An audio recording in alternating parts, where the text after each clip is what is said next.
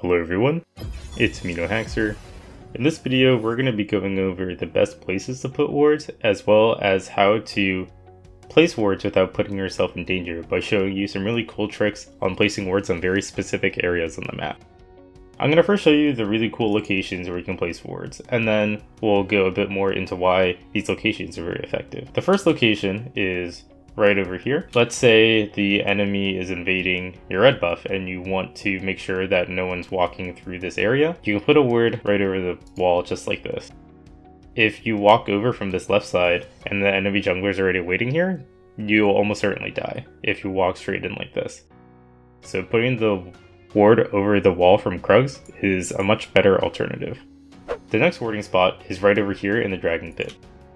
Now, if you look really closely, you can see that there's a little snail brown rock looking thing right over here. And if you put your mouse right over this brown rock, and you click on it, you'll hit this dry bush and you can ward right over the dragon pit just like this into this dry bush. And this is super good because it saves you from walking over all the way in and placing a ward inside this bush. And this is such a common mistake for people to make, especially if you're on red side and you want to get vision in here.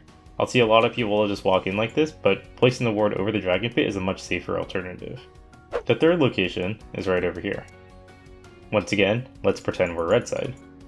If you hug this left wall right here and you want to get a ward into this bush in the river, all you really have to do is if you kind of take a look at this waterfall, you'll see that there's this big rock right here.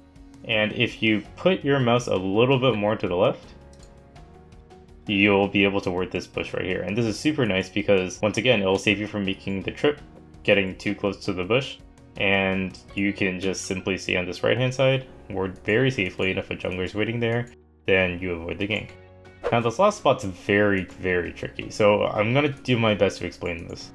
So this ward is showing you how to ward all the way across over this distance into this tri bush, which is super, super important to know if you're blue side, because let's say you're pushing and you want to take this turret over here, then being able to ward this tribush is incredibly useful. So let's suppose that you want to push and take this turret, and you want to ward this tribush over here. What a lot of people would do is that they would try to ward over the wall like this. And the way you ward this bush right here is if you look at this tree, and you look and you see how it's about to change colors right here. If you ward this spot right here, you'll get a ward inside. Now this is what a lot of people will do from blue side, which is reasonable because it's much better than walking over all the way like this and putting a ward here, you can do over the wall. But it's still sometimes not safe because let's say if the jungler is someone like Jarvan, he can just EQ over the wall by the time you hug this wall right over here and you're gonna die anyways. So the next best alternative you can do is if you come to this side of the river, you can ward over the tribush like this.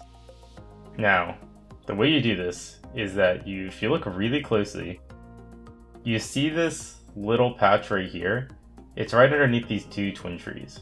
So just go ahead and right click right on this patch. Until you're really close to the wall like this. You're basically gonna look, you're gonna look like you're right under these two trees. Now if you look right over here, there are these little pebbles you see. See this three pebble formation right here? If you see this bigger pebble out of the three, the one that's in the upper area, if you mouse right over this, you should see your cursor turns red, right? See how it's not red and now it's turning red right now? If you ward right here, you'll get a ward in this tribush, just like that. And that's a very tricky one to do. You have to be exactly pixel perfect with it. And a lot of people don't know about this ward, uh, even professional players. And so this is really going to help you push very safely because so many people will not suspect it. As you can see, this tribush is now completely open for vision, and now you can walk back and safely push this lane if you need to. And all these words also apply to the other side of the map as well. So for example, the one with the red buff, if you come to this side of the map, you can ward it over the wall like this. If you go inside the Baron Pit, uh, it's a little different on the Baron Pit since there's no snail. But usually what I like to do is that I like to look over here and I like to see this little gap right here, if you see this like per, if you look at this pink rock, you can go a little bit more to the left and you'll be able to ward that tribush. Similarly over here, if you hug this very right wall and you kind of put your mouse a little bit around where this gray area starts to form a V, and if you go a little bit under that, like this, you'll be able to ward this bush right over here. And I actually don't believe you can ward from here over here. I believe it's only from this side is what people have confirmed, and also from what I've confirmed.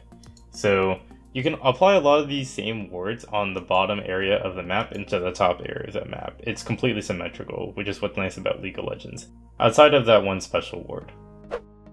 Now I'm going to briefly go over how to ward without putting yourself in danger. So for many support champions, there are abilities that you can use to grant you temporary vision. For example, Zyra has plants that she can spawn. Another good example is Soraka's Q.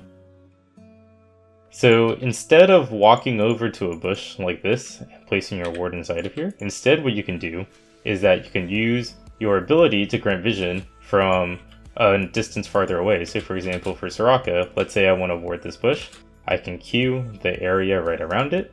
You can see, grants a little bit of vision, and this lets me see if there's an enemy there. Now let's say you don't have, let's say you have a long range ability, but you don't have a skill that gives you vision.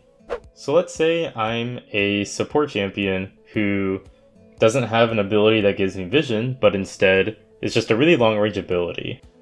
One really good trick you can do is that if you have Aery or Comet as your rune of choice, what you can do is that you can use those long range abilities into bushes first. That way, if you see your ability procs Aery or Comet, then you know someone's there. So for example, Soraka's Silence Field does a little bit of damage, so instead, let's say I forget to use my Q, I can always place my E, and you can see that my Aery instantly flies over. And that's how you know that someone is there, because Aery did damage to something inside this bush. And you can use this for so many different ways. For example, if you're bot side and you're laning, you can always throw your you can use your spells to see if an enemy supports in bushes by seeing if your abilities go onto them. You can also check to see if you gain gold from Frostfang if you have an ally nearby. That's also a really good way of seeing if someone is there. Now let's go over how to place wards around objectives. So for an objective like Dragon, there's a couple key areas that you want to cover. First key area is obviously inside the Dragon Pit. This is where you'll almost always place a pink ward. When you place your pink ward, it's important to note that if you don't put your pink ward inside the Dragon Pit, starting from this kind of invisible line from this rock to this rock, if you do not put your pink ward inside this area in the dragon pit, you will not be able to see all the invisible wards inside the circle. So if I place my pink ward just outside the dragon pit, I can't see a ward that's hidden a little further back. So every time you're planning to do dragon, you should always have one ward inside the pit, so that way you know if there's any wards inside the circle. Now let's talk about wards outside the dragon pit. This bush is obviously very important. I would always put my... If your team has a second pink ward, I would highly suggest putting the second pink ward in this bush right here, because this is going to be a very contested area from both red side from people walking down like this, or blue side from walking in like this. Speaking of these two bushes, these two bushes are also very important. If you're on red side, you always want a ward right over in this bush so that way you can see if the enemies are going to be walking in through the river like this, or if they're going to be poking or using a blast cone from over here. Alternatively, you can always put a ward over the dragon wall like this, so that way you can see the blast cone, and if you have a long range AD carry like Caitlyn, she can shoot the blast cone over the wall, and that'll help deny possible junglers from jumping over the wall and taking this dragon. For the blue side, one ward that's really nice that can cover this path walking down is right over the wall, just like this. Another good ward to place for blue side is if you want to see this ramp over here, you can simply hug this left wall and just place a ward on this very far right corner, right like here, and you can see enemies walking down just like this. The very last pink ward spot I would recommend is in this bush right here. This is a very important bush because in early levels, when mid laners are going to be shoving the lane constantly, having this access path towards Dragon via this bush right in the middle of the lane is incredibly important. Both sides really like having this bush because it really allows you to find picks very easily. For example, if I'm a Thresh or Blitzcrank, I can easily look for hooks and walls over the walls like here, if I have vision like this. And so having constant vision denial in this bush is incredibly important. Once again, to reiterate, I would say the order of importance of wards around dragon is one inside the dragon pit, two in this bush right here, three in this bush right over here. If I had to pick a fourth, I would say in the middle of the river, right outside Dragon, is also a great alternative. The area around Baron is also very similar to Dragon, so we can use the same logic and apply it to this area of the map since it's symmetrical. Once again, any pink ward you place inside the circle will be able to see any ward that's placed. So make sure you have your first Baron ward always this inside the circle of Baron. The next most important pink ward is in this bush, very similarly to the dragon area. This is just the most contested area between both sides of the map. And third, this bush right here is very important for Baron because once again, once you get to the late game, you'll start to have people pushing the mid wave first to get mid priority and then making their way towards Baron. So having control of this area is very nice. Specifically for blue side, I would say putting a ward in the middle of the lane a little bit further down is really nice because with the same logic of having a ward inside this pink bush, having a ward in the middle of the lane is really good. You can put a ward over this ramp to see the path from mid going into the Baron area. This bush is also incredibly important because just like the Dragon area, this bush gives you very direct access for a steal. So having a ward in this bush right here, or alternatively right over the walls you can hit the blast cone is also nice. For red side, it's very similar idea. You can ward over the wall just like this. You can also ward over the wall just like this if you want to see them going through the ramp area.